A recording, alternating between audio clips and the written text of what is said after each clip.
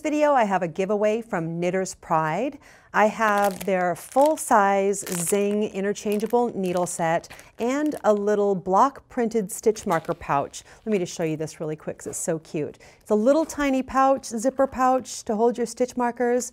It's a really good idea because um, if you keep your stitch markers in this cute little bag, and Knitter's Pride has several uh, different designs, different prints, you put it in the little bag Inside your bigger knitting bag, you can get your hands on your stitch markers without rooting around inside of everything. But I want to talk about the needles because those are the big deals. This is the Zing interchangeable full-size sets. There are nine different needle sets. Each, um, each size is a different color. And let me read about this.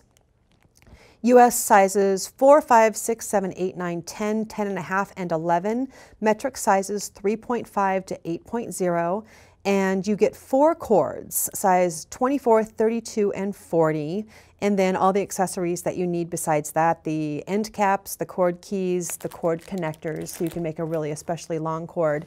This is a beautiful needle set. This is my own personal set. I brought this so I could open it up and show you. You have the uh, um, card with the different needles on it and you flip that over and then in the pocket here you have the cords and the end caps and the keys and everything else.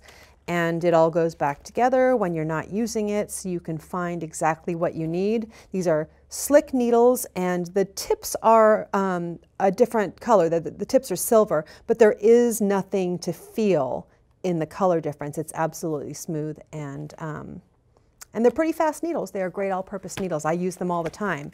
They have quickly become one of my go-to. These are Knitter's Pride's uh, newest needles. Still uh, one of my go-to needles for sure as soon as they came out. If you would like to enter this contest, just uh, watch the rest of the video for the rules and good luck.